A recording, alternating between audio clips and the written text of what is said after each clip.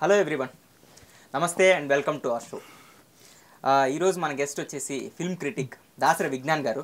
Welcome to our show sir. నమస్తే దయా దీనిలోని అసలు ఏంటి సబ్జెక్ట్ అసలు ఎట్లా ఉంది taking direction department artist acting ఎలా ఉంది? ఇదంతా మాకు కొంచెం చెప్పండి సార్ నేను నేను నాలుగే ఎపిసోడ్లు చూసా. నాలుగోది కూడా ఫుల్గా చూడలా. Okay sir three and half. Mostly. ఫుల్గా చూడలే. బట్ ఫస్ట్ ఎపిసోడ్ నుంచి అయితే ఆ ఇంటెన్స్ ఆ క్యూరియాసిటీ అంతా క్రియేట్ చేసింది. నిజంగా చాలా బాగుంది.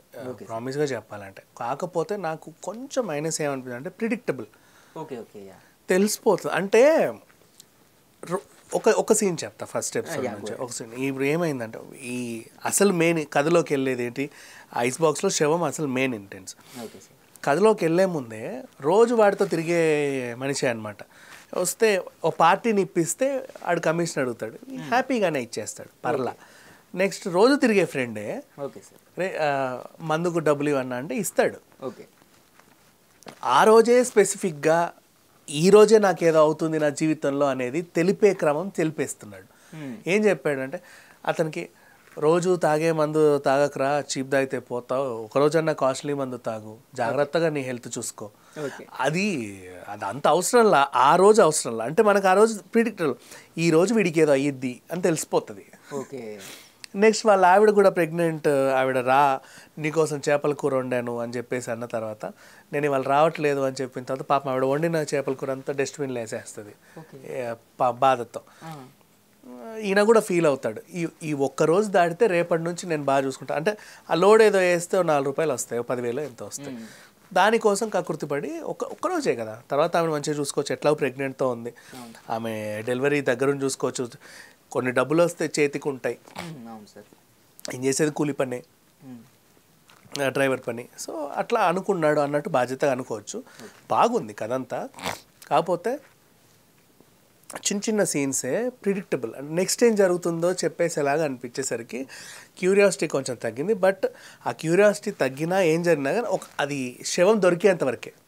ఒక్కసారి శవం దొరికింది అంటే ఇక ఆయనకి కీస్ ఇవ్వబోతే ఆ ఆయన కూడా మన ఆ ఓనర్ కూడా ఆ రోజే దీన్ని ఎక్కడికో నేను మాట్లాడుకున్నాను అని చెప్తాడు.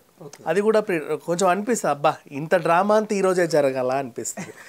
ఇట్లాంటివి లేకుంటే ఒక అంతవరకే ఇక తర్వాత కథలోకి ఒక్కసారి వెళ్ళిపోయింది. ఇంకా స్పీడ్ స్పీడ్ స్పీడ్ స్పీడ్ చాలా బాగుంది. యాక్టర్స్ పర్ఫార్మెన్స్ అయితే అందరు ఇరగదీశారు. ఎంత చెప్పినా తక్కువే. అండ్ ఎక్కువ చెప్పేస్తే కథ మొత్తం చెప్పాల్సి వస్తుంది. ఇంతవరకు చాలు. ఓకే సార్ అందరూ దయాన్ మాత్రం మస్ట్ వాచ్ సిరీస్ నేనైతే త్రీ అండ్ హాఫ్ చూసా. నాకు ఈ రోజు కూడా ఎప్పుడు వెళ్ళిపోతే ఇంకా దాన్ని కంటిన్యూ చేయాలన్న క్యూరియాసిటీ మైండ్లో ఉంది మార్నింగ్ నుంచి కూడా. అండ్ ఇందాక కూడా నువ్వు అన్ఎక్స్పెక్టెడ్ జేడీగా టాపిక్ తెచ్చావు కాబట్టి నాకు అనుకోకుండా ఇది గుర్తొచ్చింది. బికాస్ హీ వాజ్ రైట్ అని ఎందుకు అన్నాను అంటే ది- ఆయన యాక్ట్ చేసిన దీంట్లో నాకు పెద్దగా ఏమి అంత నెగిటివ్ పాయింట్ ఏం కనిపించలేదు. ఉన్నా కూడా డైరెక్టర్ వాళ్ళ పర్సెప్షన్ మొత్తం ఈయన ఎందుకు పట్టించుకుంటాడులే కానీ but it's okay very good నాకు అది బాగా నచ్చింది. టైటిల్ పడడం దగ్గర నుంచి ఆ ఇంపాక్ట్ క్రియేట్ చేసింది. అండ్ నెక్స్ట్ ఇంకా మస్ట్ స్పీక్ టెక్నికల్ వాల్యూస్ చాలా బాగున్నాయి. కదంతా హార్బర్లో వీళ్ళు చేపలు పట్టే వాళ్ళని చూసాము ఇంతకుముందు చేపల వ్యాన్ అది ఉంటాయి కదా ఐస్ వ్యాన్లు. ట్రాన్ ఆ ఐస్ వ్యాన్కి డ్రైవర్ ఈయన. దాన్ని ఒక దగ్గర నుంచి నీ దగ్గర నేను రెంట్కి తీసుకొని నేను ఓ రోజు లోడ్ వేసుకొని లోడ్ దింపేసి నాకు ఎంత కమిషన్ వస్తుంది. దాని మీద బ్రతికేవాడు అనమాట అట్లాంటి డిఫరెంట్ టిపికల్ క్యారెక్టర్స్ ఎంచుకోవడం చాలా రేర్ ట్రిక్ చాలా బాగుంది. అండ్ స్టార్టింగ్ మాత్రం ఒకటి ఇమిటేషన్. ఏంటంటే మీకు యూట్యూబ్లో ఒక అబ్బాయి అదే పనిగా చేపలు పట్టు వేటకెళ్తూ నల్లగా బాడీ బిల్డర్ ఉంటాడు.